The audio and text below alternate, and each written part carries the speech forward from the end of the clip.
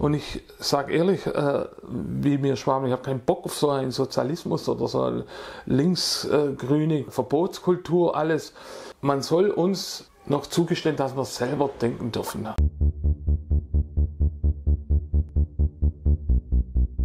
Herzlich willkommen, meine Damen und Herren. Ich bin heute im Gespräch mit dem pensionierten Polizeihauptkommissar Norbert Zerr. Herzlich willkommen. Hallo. Anders gesagt, danke. Wir machen ja die Aufnahme bei Ihnen zu Hause. Danke ja. dafür. Wir haben uns im Herbst des vergangenen Jahres schon mal unterhalten wegen Ihres Buches. Das liegt ja auch hier. Ja.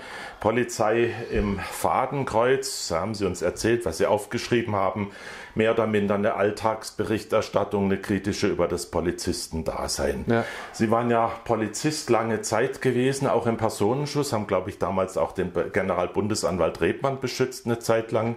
Und dann sind sie mehr oder minder in die Politik gewechselt, waren in Irndorf Bürgermeister, das ja. gehört noch zum Schwäbischen. Das gehört noch zum Landkreis Tuttlingen, ja. Ja, und dann waren sie in Speichingen, auch im Schwäbischen, in der ja. Bußgeldstelle, im Rathaus tätig. Ja, Waffenbehörde, Bußgeldstelle, Ordnungsamt. Genau, und, und zuletzt ab 1. Januar als Hauptamtsleiter in Feringenstadt. Das ist Landkreis Sigmaringen. Landkreis Sigmaringen, das war der Untergang. Das, ja, das ist schnell zu Ende gegangen nach rund fünf Wochen. Was ja. ist da genau passiert? Ich kann es heute noch nicht genau erklären, was da passiert ist in, in, in dieser Kleinstadt. Ich muss mir einen großen Selbstvorwurf machen, weil ich die Stelle angetreten habe. Der Bürgermeister war auch bei der Polizei vor etwa 20 Jahren und als wir beide zur Politik gewechselt sind, er äh, Bürgermeister in Ferienstadt, ich in Irndorf, haben wir uns so einen Erfahrungsaustausch betrieben. Und es ist ein vom Typus her ein sehr, sehr netter Typ. Also gerade wahrscheinlich Gegensatz zu mir. Ich bin leider manchmal sehr emotional. Und aber ich nenne die Dinge beim Namen. Und äh, dieser Bürgermeister hat einen Hauptamtsleiter gesucht. Meine Vorgängerin ist äh, auch Bürgermeisterin geworden, was nichts Ungewöhnliches ist. Äh, ich habe aber viel zu spät erfahren, wie es dort mit dem Personal äh, vor sich geht und auch diese Bürgermeisterin. Die hatte auch Probleme bekommen. Die hat auch Probleme gehabt mit denen, wie ich äh, später erfahren habe, und sehr große Probleme. Und wir sind dann ins Gespräch gekommen und, hat, und dann hat er gesagt, oh Mensch, bewirb dich doch und äh, dann schmeißen wir den Laden. Normalerweise in unserem Alter bekommt man immer Absagen. Wir sind vielleicht fachlich qualifiziert, aber, haben das aber bei der Polizei, aber bei der Polizei heißt mhm. immer Alter, Dummheit und Gewicht. Mhm. Äh, haben wir vielleicht beides äh, oder alles, alles zusammen. Alles, drei, alles zusammen. Ja. Und dann habe ich gedacht, warum nicht? Das Amt an sich ist sehr, sehr interessant. Der Bürgermeister hat gesagt, ich bereite alles vor für dich. Na, ich war der Meinung, ja, das wird wieder Absage geben, weil sie in der Regel nehmen sie, nehmen sie Fachhochschüler frisch von der Fachhochschule. Aber es hat geklappt. Äh, aber es hat geklappt und äh, das hat er auch, sag ich mal so, gut hingetrickst. Sein Gemeinderat, die stehen wohl in Spur alle, obwohl ich später mitbekommen habe, dass doch einige kritisch ihm gegenüberstehen. Und dann ging es los. Das war am 1. Januar dieses Jahres. Äh, äh, Im 1. Januar, äh, also die Bewerbungsszenario war im, im November. Mhm. Und ähm, ich habe gesagt, ich fange gleich an, gehe gleich ins Ding. Und er hat mir gesagt, wir müssen gleich die Wahlen angehen. Er hat null Ahnung von den Wahlen. Ich gesagt, kein Problem, ich mache das, er soll mich nur arbeiten lassen er hat eine sehr, sehr junge Kämmerin. Also Kämmer, Kämmerei ist Finanzverwaltung, 26 Jahre. Und äh, bei uns damals war die Kameralistik, äh, also eine Hin- und Herschieberei mit der Finanz, was man, äh, ich sage es jetzt einfach mal, der Bürger blickt da überhaupt nicht durch. Und jetzt hat man umstellen müssen auf die Dopik, also Bilanzierung. Also die Schulden kommen mehr raus mhm. und so. Und Vielleicht bin ich zu altmodisch, aber ich finde, junge Leute sollten ans Geschäft herangeführt werden.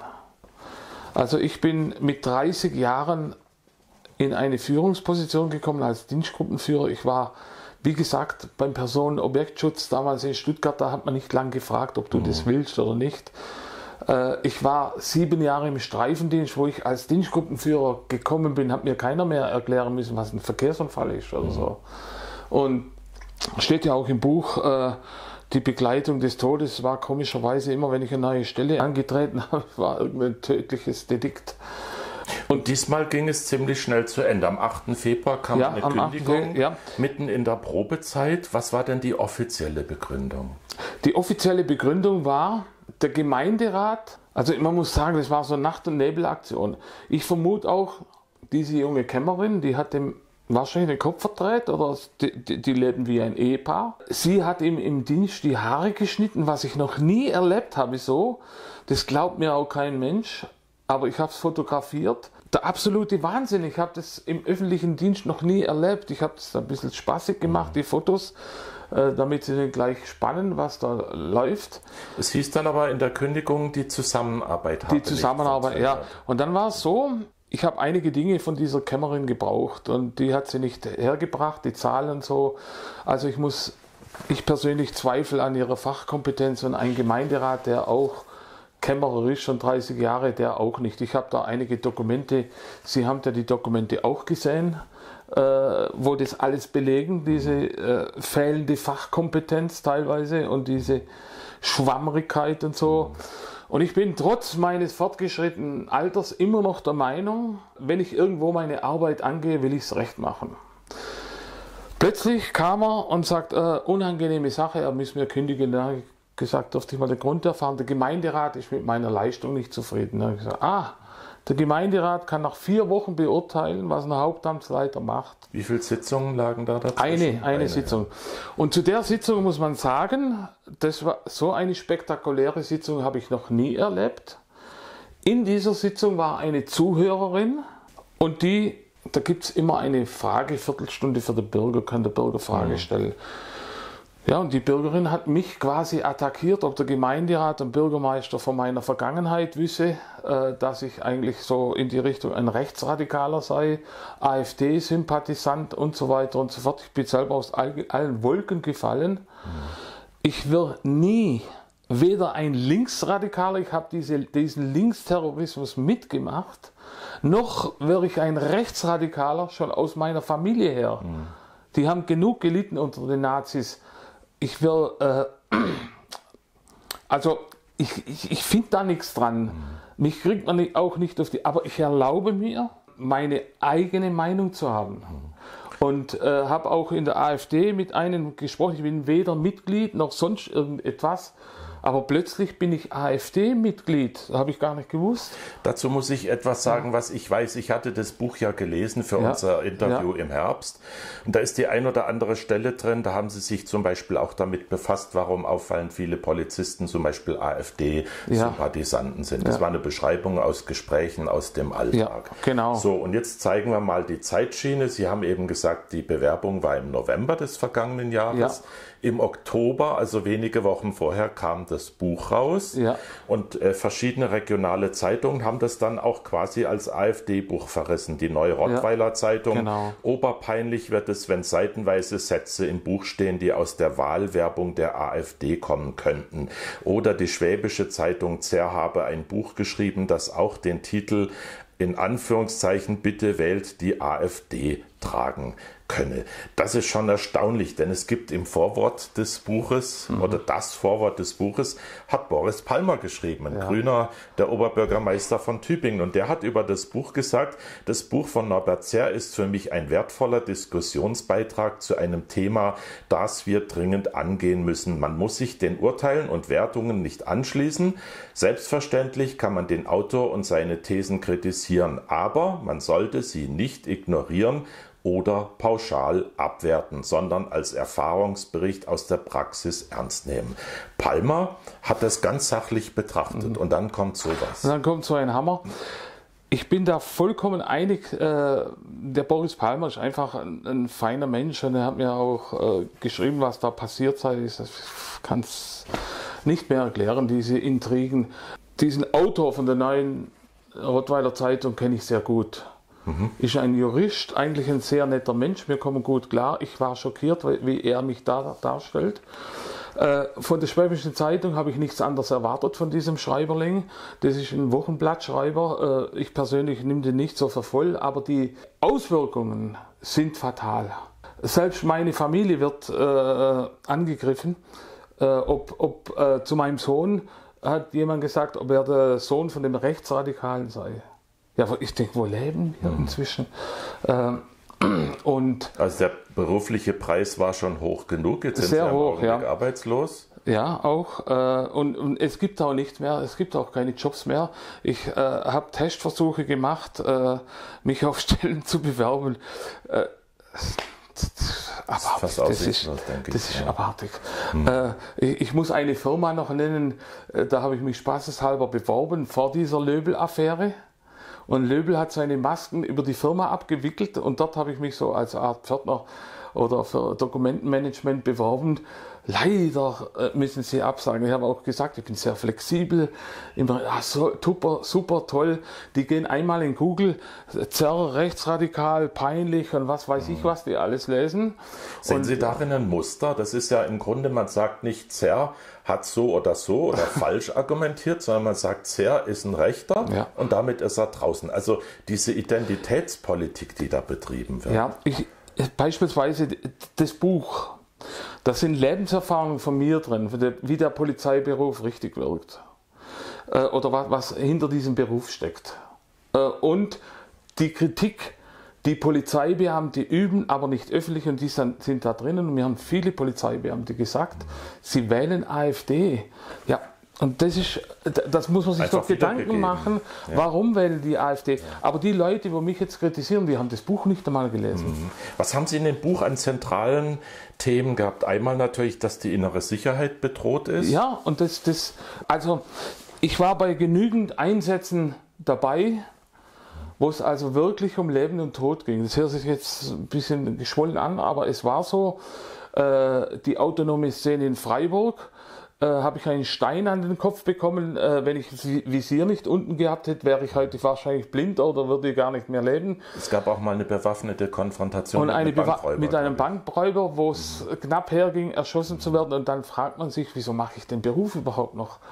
Mhm. Äh, man, man ist der Fußabtreter von der Politik. Auch das ist im Buch deutlich gesagt. Und das kritisiere ich im Buch. Und jetzt muss ich erleben, ich rede ja mit vielen alten Weggefährten, dass die Razzien auf, auf Kindergeburtstagen machen. Also ich habe immer gelernt, die Verhältnismäßigkeit, der Einsatz der Mittel.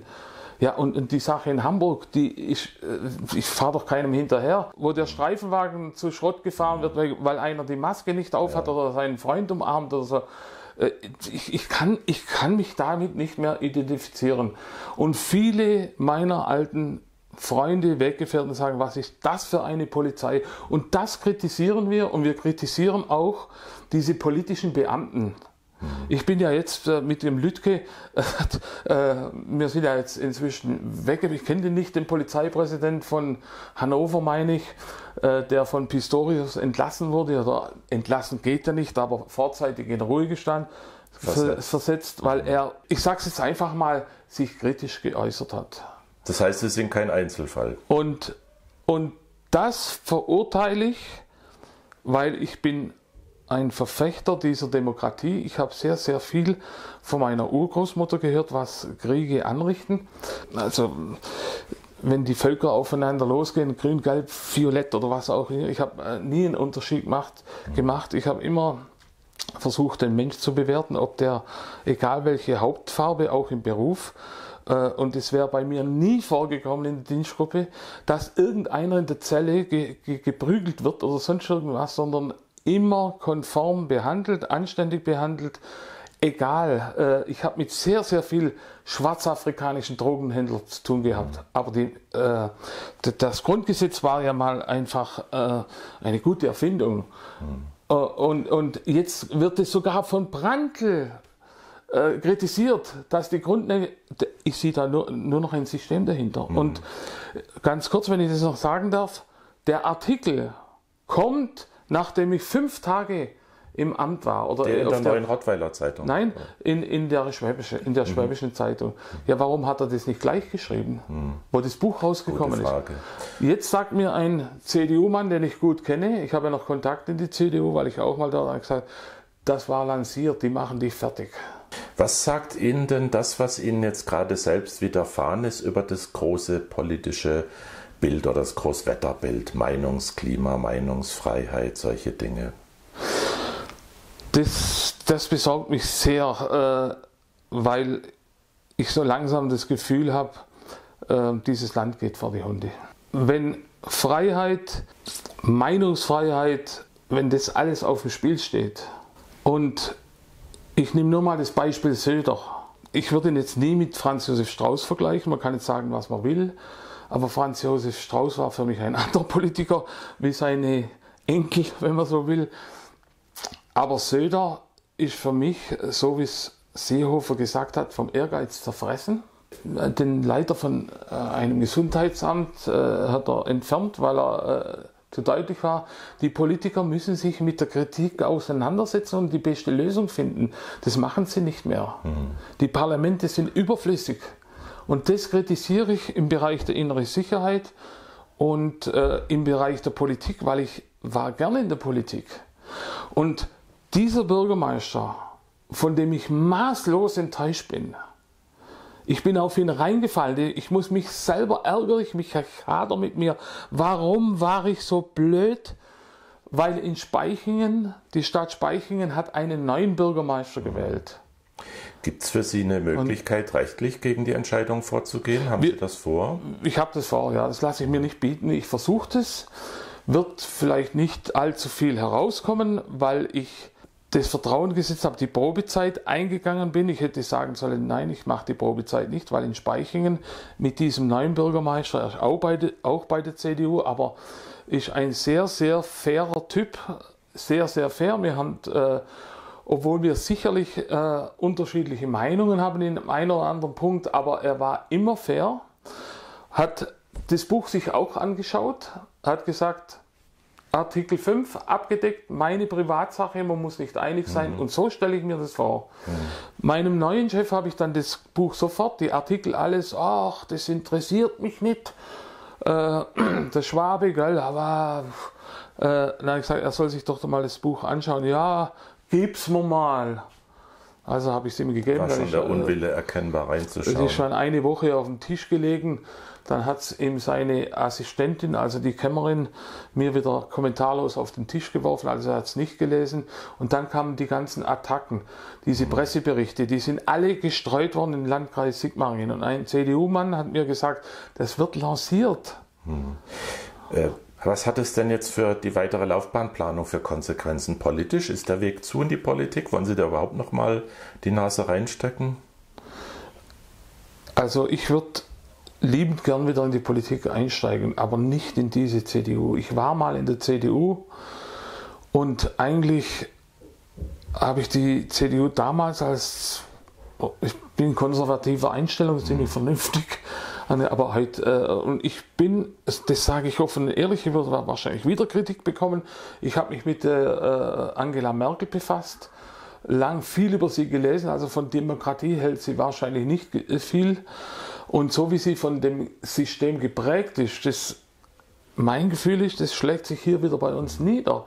Und ich sage ehrlich, äh, wie mir Schwaben, ich habe keinen Bock auf so einen Sozialismus oder so eine linksgrüne äh, Verbotskultur, alles. Man soll uns noch zugestehen, dass wir selber denken dürfen. Und äh, ich sehe aber momentan, ich könnte mir jetzt auch nicht vorstellen, der AfD ein Abgeordneter zu sein, weil das ist ja auch ein verstrittener Haufen. Die Werteunion könnte ich mir vorstellen. Also Maaßen, sehr guter Mann.